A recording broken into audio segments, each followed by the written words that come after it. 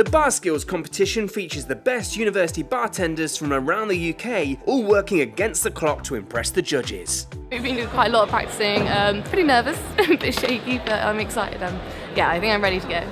I'm confident in my drinks, but the spectacle of it is a bit daunting. Just want to get out there really and just make sure I do a good job and represent the university. Competitors must prepare a sharing drink, a signature cocktail, and a beer or cider cocktail. Expecting innovation, skill, and entertainment are the increasingly less sober judges.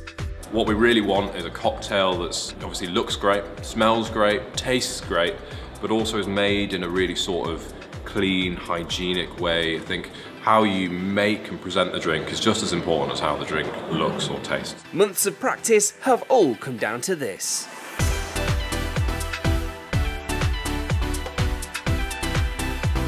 There's also the head-to-head time challenge where competitors must make as many gin and tonics as they can in just one minute. I'm looking forward to seeing how um, messy it's all going to get because it's not it's not going to be tidy, but it will be fun and it'll be great to watch. On your marks, get set, go!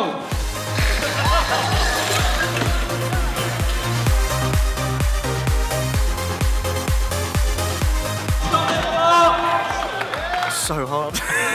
it was a lot harder than I thought it was going to be, and it was a lot of pressure, and everyone was whooping. Well, it could have gone better. I mean, obviously, I had the hiccup with the cocktail shaker exploded over me. But I came back quite well, made a laugh about it, and I smelt brilliantly for the rest of the competition. We've seen some fast-paced pints and some colourful cocktails, but it's time for the judges to pick a winner. Really impressed with the guys. I think the look of the cocktails, the delivery to the judges, the customer service has all been fantastic. Gold goes to Jack Wallace, Royal Holloway, University of London.